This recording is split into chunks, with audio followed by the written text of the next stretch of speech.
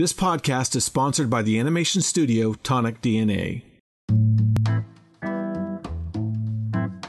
You're listening to the Story Driven Arts Podcast, where the visual arts and storytelling come together. I'm animation director and your host, Todd Schaefer. This is the second part of my conversation with the legendary painter, film designer, and now author, Armand Baltazar. Armand has written and illustrated a novel called Timeless Diego and the Rangers of the Vastlantic.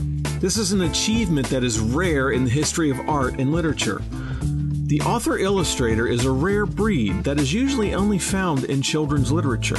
Armand stands alongside author illustrators such as James Gurney and the great Howard Pyle.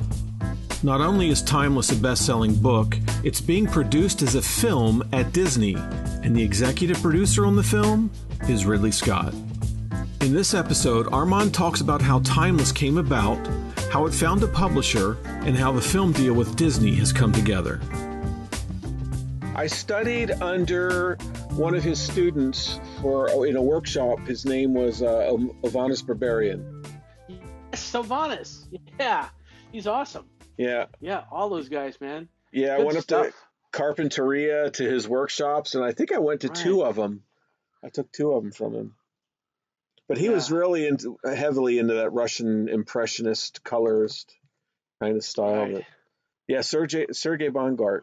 It's it's cool because you know I don't paint like that anymore. I mean, I have a couple older pieces that look kind of Russian-ish, but the thing is, just the just the training and the insight was just so was so valuable, you know. So you talked about the early American illustrators as well, and I have right. to tell you they are my favorite artists. I think that their art is should be alongside all of the other artists in in the world from oh, yeah. you know from history. Um, because like you said, Dean Cornwell, Mead Schaeffer, Saul Tepper, uh, J.C. Leyendecker. Um, I mean, I could go on and on with these guys. These are amazing, amazing yeah. artists and the fact that yeah. they did all this stuff under time pressure you know some of them had a week to get these paintings done and then oh, shipped oh, yeah. to, to, the uh, printers you know oh man we're spoiled we really are you know i mean it, the thing is too is it, it's it's funny because i remember i did a couple oil paintings for clients and it was miserable i remember i was stressing out like crazy because um I had to go and get the my oil painting shot. Like I'd paint some of them really big, and I'd go have to get them shot.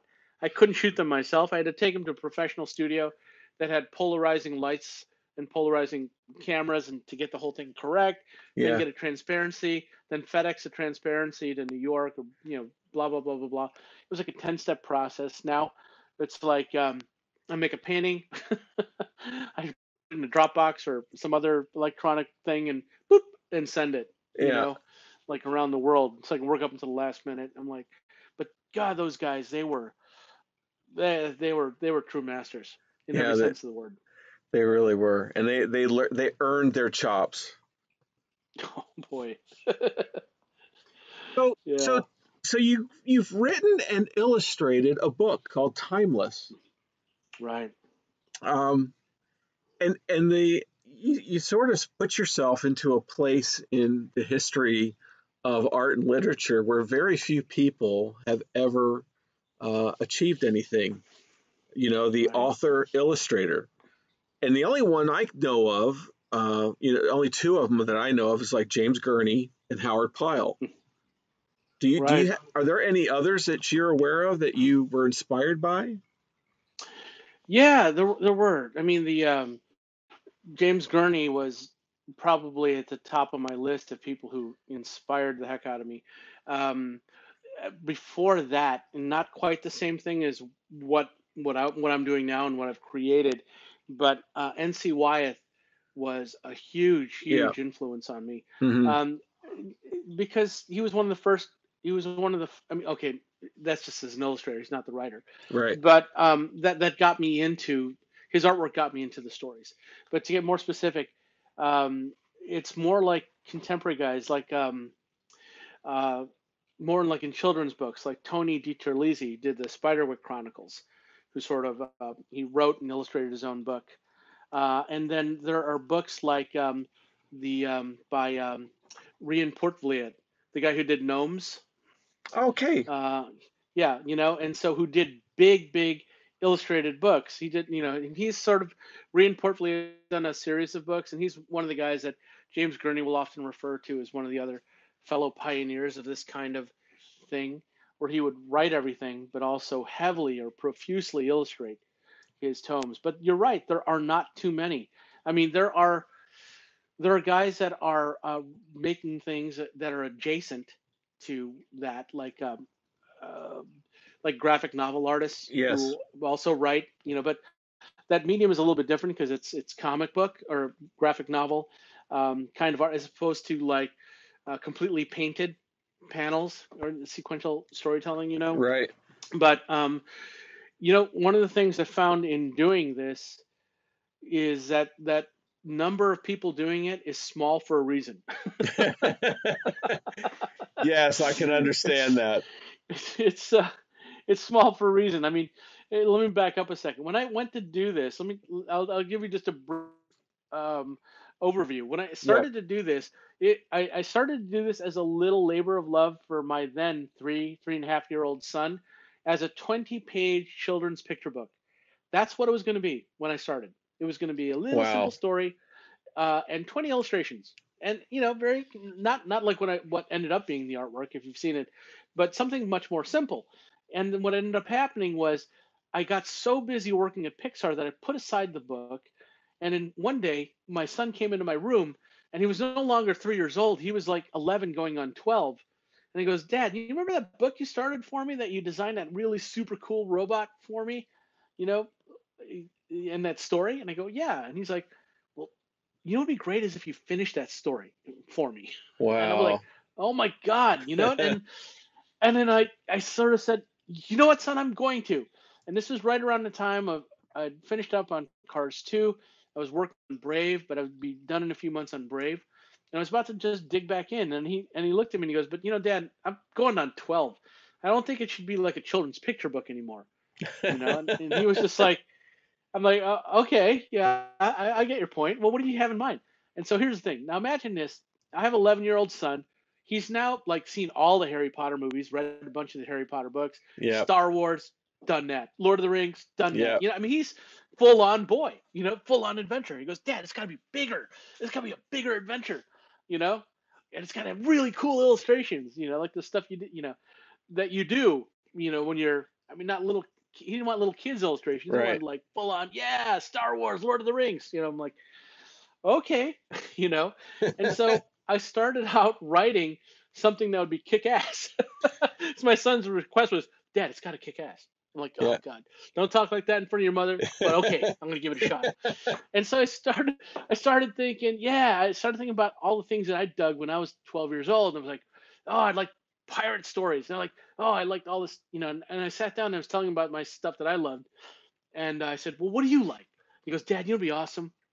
This is what would be awesome. I would love a story where there was more than one giant robot. There was a bunch of them. And you know what else would be awesome, Dad? I go, no, what? He goes, World War II airplanes. Those are so cool.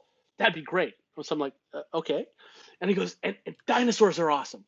And all of a sudden he starts rattling off all this stuff. He goes, and samurais are super cool. And um, if my friends could be in it, that'd be great. And he, and he's, he's, he's telling me all these things that would be really cool in an adventure story. And he goes, oh, but you know the best thing of all? He was really into Indiana Jones at the time. He goes, I want to be like Indiana Jones. I want to fight off Nazis in a story. I'm going, Oh my God. Hold on. Let me get this straight, son.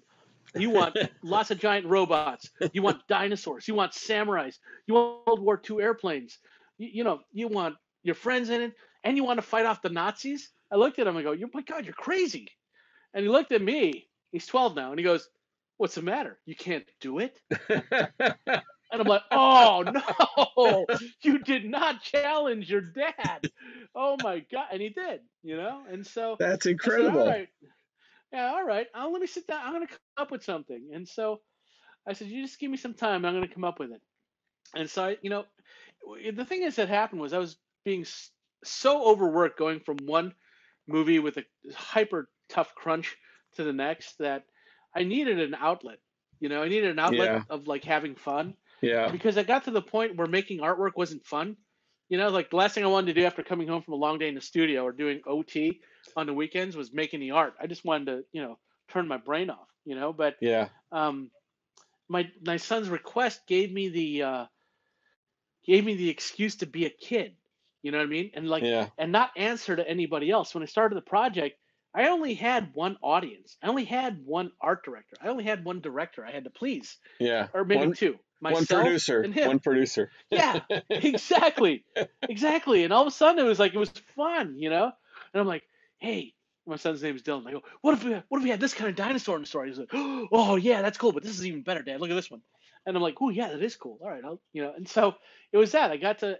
It became this weird sort of awesome bonding activity with my son to work on this thing. And so I worked on it.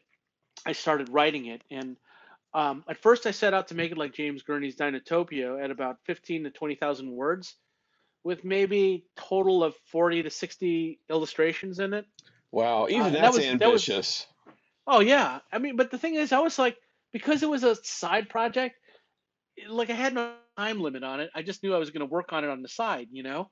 Um, and then, uh, you know, so I started working on. it. started working on it. And it it was hard with um, with the way uh, my job was, you know, and so it started to slip again, and I put it away. And then, wait, should I give you the full story or just a speed? Go story? go for it. All right. Okay. The full story is the full story is a little. It'll it'll have some sad parts in it. Um, Okay. Forewarning.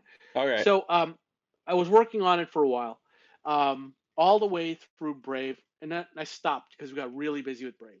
Know, I knew my son was bummed because he saw that I stopped working on the project, and then um, possibly one of the worst things that could have ever happened happened during Brave. Um, well, it was good and it was bad. It was bittersweet. I had a really good friend at Art Center. He was a term or two ahead of me, and we worked together on and off.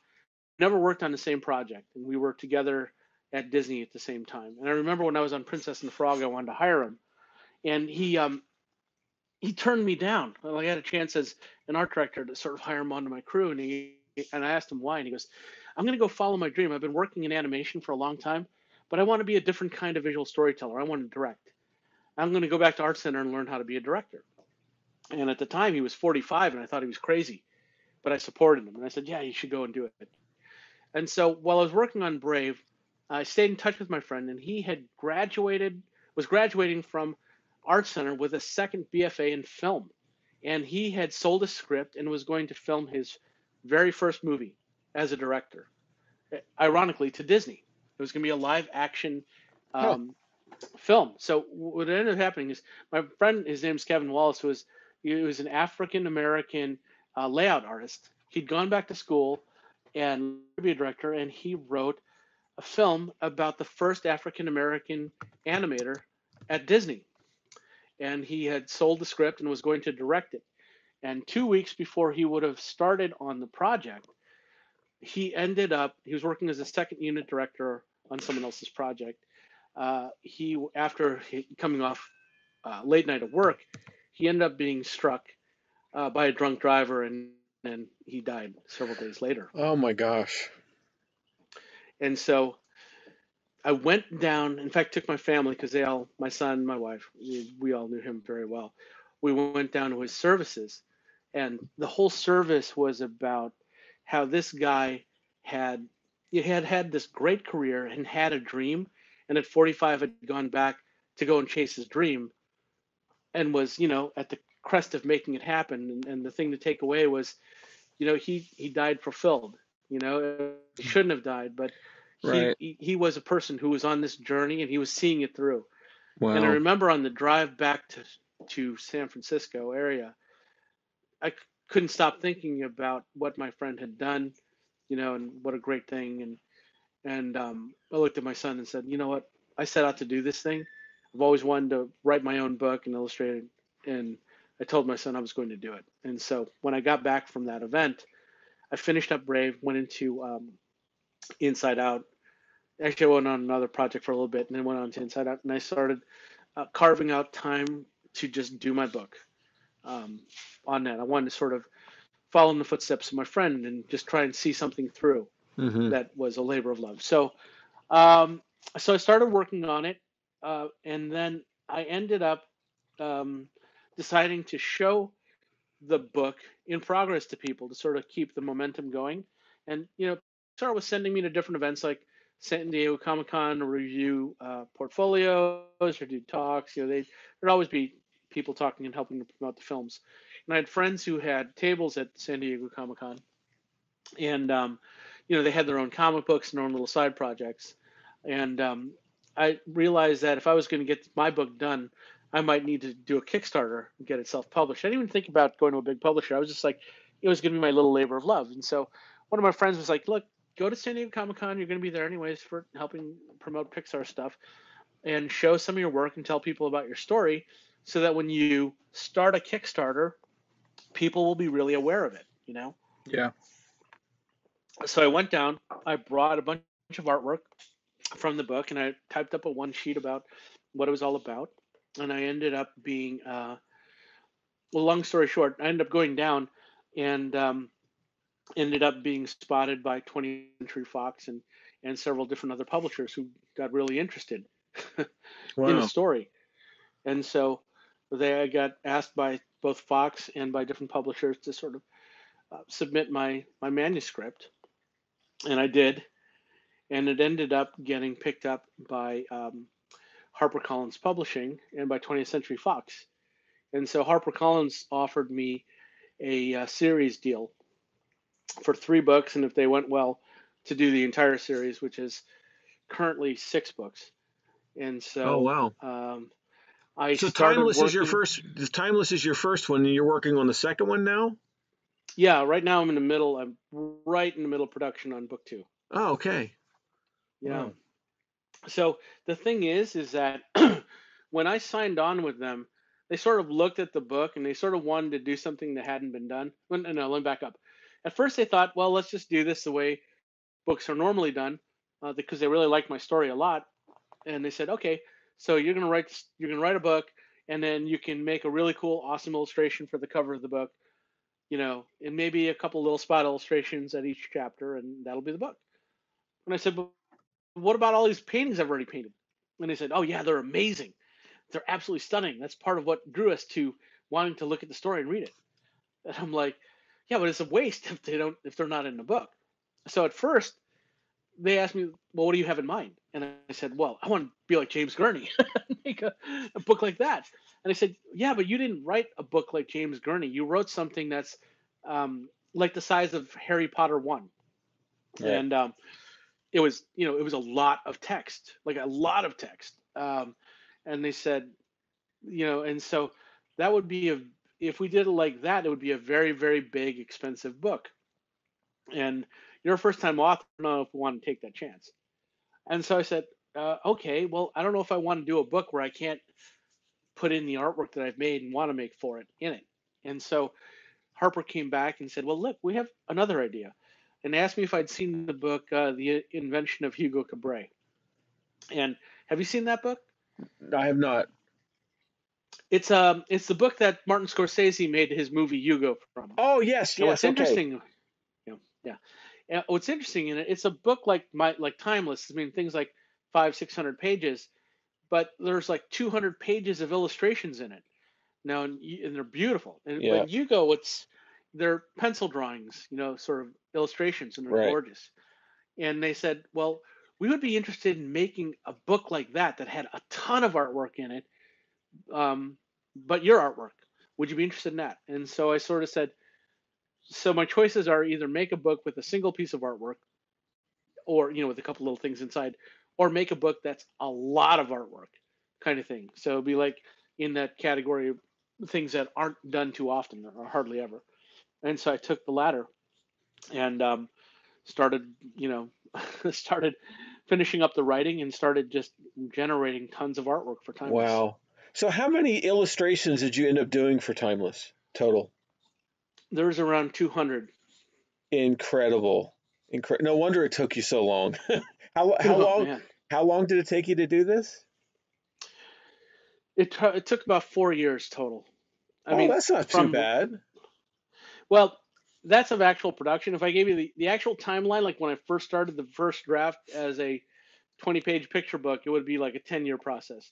Okay. But um, four years were when I finally got serious. And what had happened was when I wrote Timeless for my son, the draft I wrote was ridiculous. Um, when I say ridiculous, what I mean is that I wrote it with the idea that this was going to be a self published book, you know, and I started, I kind of wrote it like one of my childhood favorite books, which was Dune. I don't know Hmm. if you've read ever read Dune. Yes, I have. Dune, yeah, think it's like a 1200 page book. I know it's, It's like a- monstrous. And I was like, so I wrote, I wrote this big. It was even even bigger and more epic. and they sort of looked at my manuscript and they go, you know, we want to make this. We think that the story you've written uh, and the way you've written it fits really squarely as a middle grade book, not as an adult fiction book, uh, science fiction book. Huh. And he goes, and I said, okay. Well, you know, the thing is, is that I wrote the character is 13 years old. His friends are like 13, 14 years old, kind of thing. And um, in the series, the series is similar to Potter in that each book the kids get a year older, Yeah. which sort of fits more as like, you like Harry Potter is kind of a book that goes from being a middle grade book to young adult. Because by the time when he's like 17 and 18, in the last couple of books, you know, there's more adult issues, you know, romance Right. and death and fighting and battles and all sort of stuff. Not that there isn't battles and things before, but it gets you know deadly serious. And my my my characters go on a similar path of maturity in theirs, and so they go. So they came back and said that makes more sense as middle grade. And I'm like, I saw their point, and then they came back and said, well, usually a middle grade book is between sixty to seventy thousand words. You have a book that's 180,000 words. You have enough for three books. Wow. And so um, my choice was either to break it into three books or try and rewrite it. So I took the path of rewriting it. So I spent a year and a half rewriting the book to try to get it down to a compromise. I said I, I can't get it to 60,000 words, but I, I think I can get it to the size of the first Harry Potter. It was around 98. And Timeless is about 120,000 words Wow. in the end. Um, but um, So, so, it took a year and a half to write, and then about a year and a half to illustrate. Okay, so you did the writing first, and then you did the illustration, or did you do them in tandem? I did them in tandem, but like when I'm writing, I didn't take anything further than like sketching. Okay. You know, uh, kind of like I wasn't taking anything to full paint because everything was kind of malleable, and then there's a real sort of process to um, the book, which is a little bit different because there was going to be so many illustrations. Um, the illustrations had to go. There was a certain amount of illustrations you could do that had to fall in the right places. Um, without getting hyper technical about publishing, it's sort of like if you're making a movie, you know you're either going to be making a movie as a 90 minute movie or a two Yeah. hour movie. You know what I mean? You have these sort of set sort of things. Yeah. And so I had a book that we were trying to hit no more than 600 pages, Wow. you know? And so when you put in illustrations, you got to move, you have to like move text around, you know? Right. But if you only know, it's kind of like being bumped into a 90 minute film and you have like 10 sequences and you only have enough room for six sequences. You got to figure out how to trim and move things around. I ended up having to do that. So I'd make artwork and then find out, oh man, you know, I have to take out art or I have to rewrite sequences, you know, when I when I pulled artwork out. So it was this sort of shifting kind of landscape uh, as as I was working on it. Wow. So you've basically written the entire series. They've just broken it into six different books. No, no, I wrote book one. Um, what I ended up doing was I sort of just took stuff that was in the very first draft. A lot of it, thank God, I got cut cut off. That it was like wasn't really didn't need to be there. You know, like when you first write, like oh yeah, this is important. But Yeah. I kept the things that were important and sort of moved them around. But I only had written, you know, had worked out the story for book one, and then, um, you know, what I had done though was I had written an outline for books two through six and I submitted those with the draft so they could see where I had where I was going with the entire series. Oh, I see. Okay.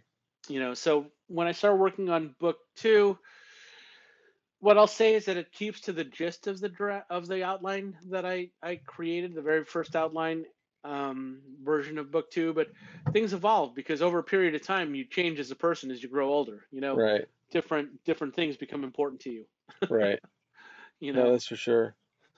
Well, that's incredible, Armand. That that you know you just sort of worked in there. I think if do you think that if back when you started first thinking about it, that it would go to publishing, that that would have maybe uh, brought a little bit of fear into your work and maybe hesitation.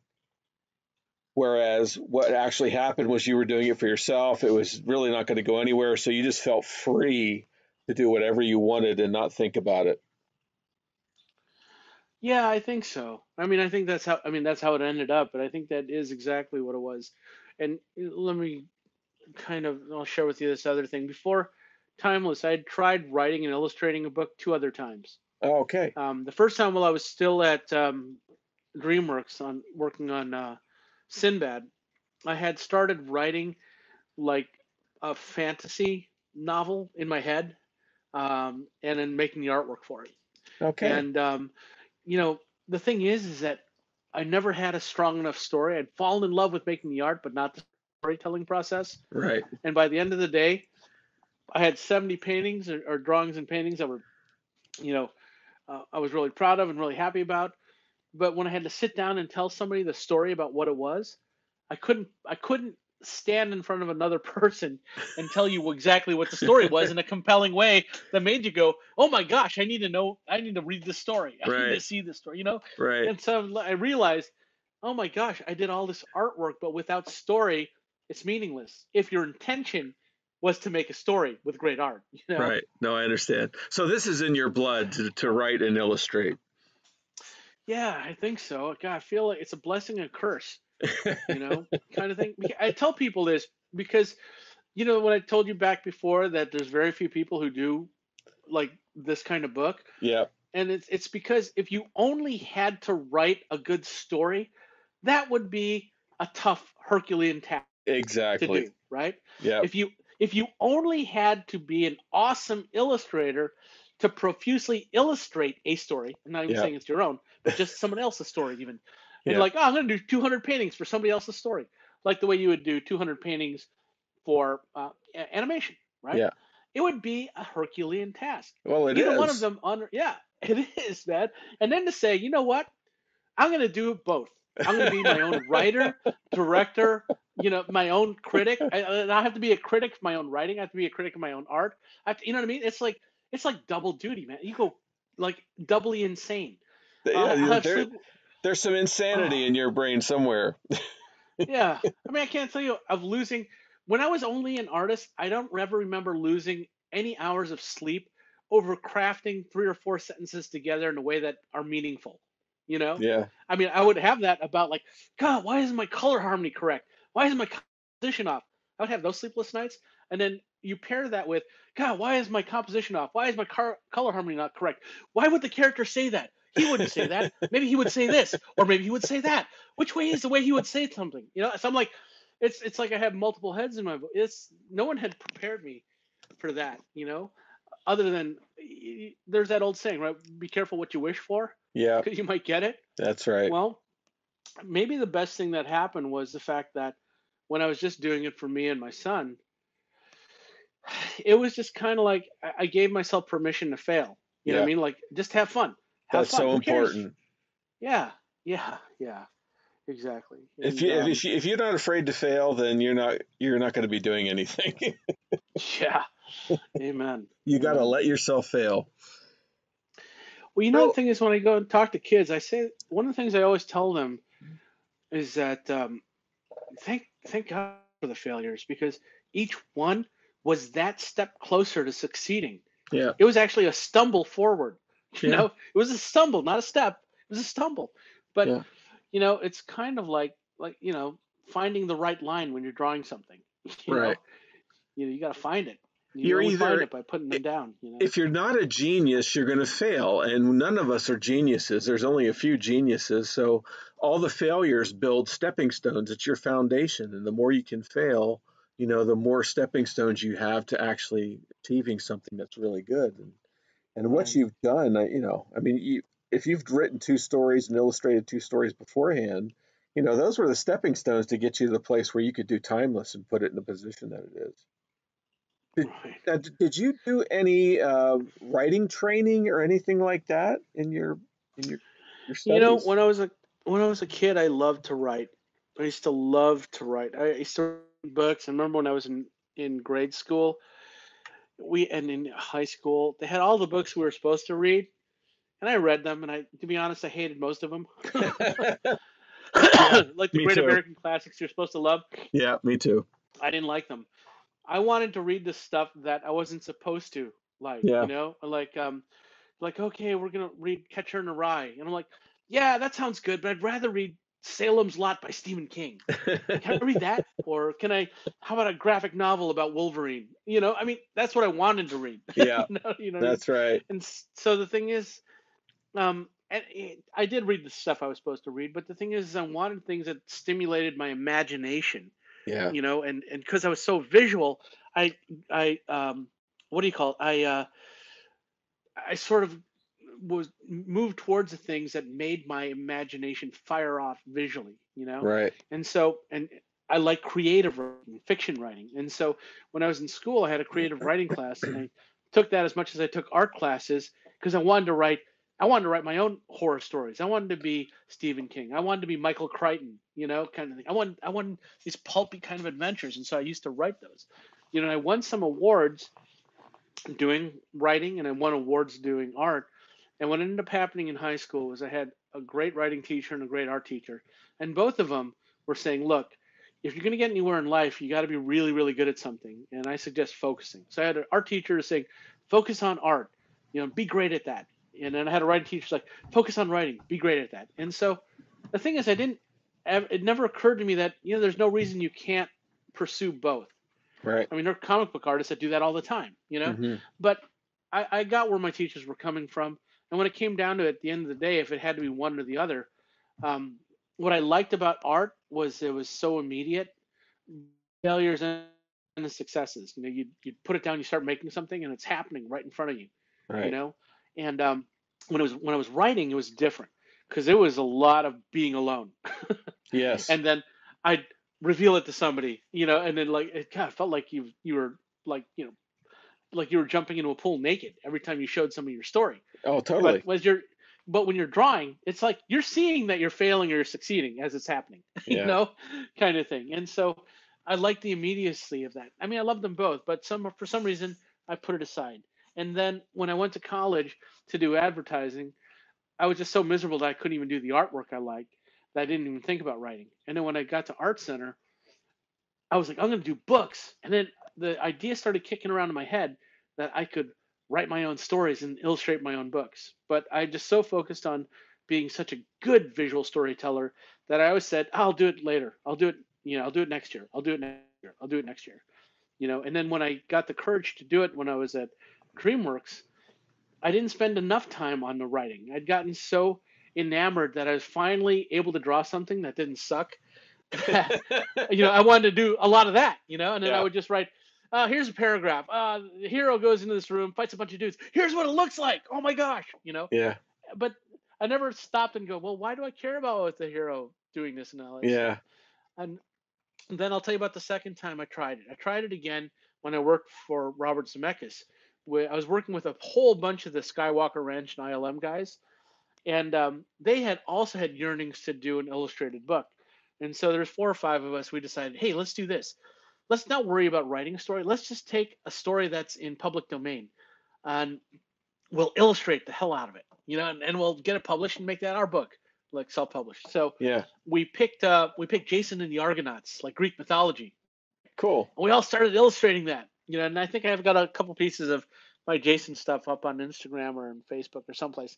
And here's the thing: um, when you actually go to the actual story of Jason and the Argonauts, whenever you say Jason the Argonauts, the first thing that comes in your head is Ray Harryhausen and the awesome movie that he made, right? I mean, Yeah. and the Sinbad movies that Ray Harryhausen made. And you know what? They were great. They were wonderful, awesome part of childhood experience. Yeah. Then you go crack open a Greek mythology book and you start reading about Jason and the Argonauts, and you realize that Jason is a jerk. They they changed everything for the Hollywood movie. He ends up yeah. being this. It's more like Game of Thrones. He's a selfish jerk, you know, who screws over a whole bunch of people in his ambition to become king.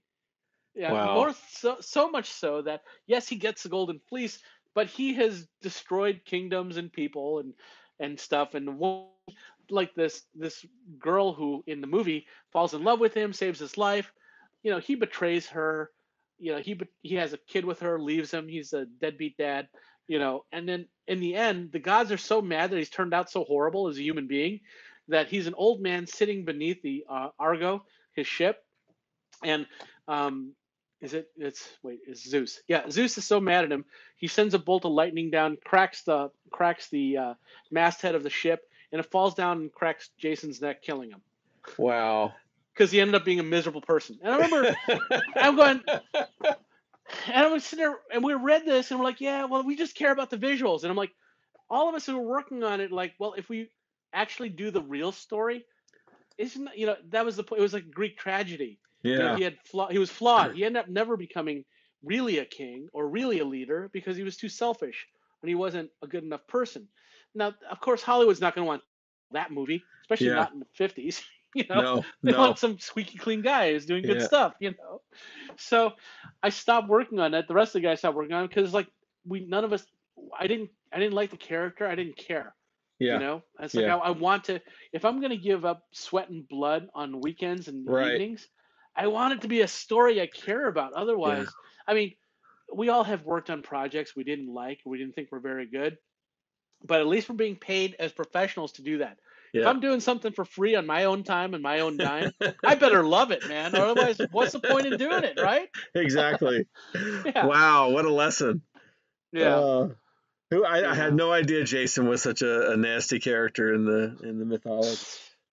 Huh. Yeah, he's just flawed. You know, he's just, yeah. selfish and you know. But neither did I. That was a that was a, that that burst my bubble pretty well. Yeah, no doubt. So then you decided to write your own. So how how well has T- Timeless done in its first uh, release?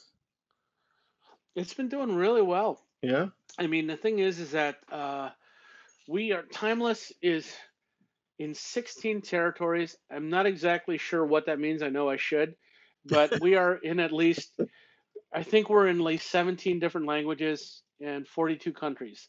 Wow. worldwide. So uh, recently we just got uh, Israel, we landed China, we're in Germany, Italy, France, Spain, um, the Czech Republic, Russia, uh, Korea, wow. South Korea, and we're so it's it's doing really really well.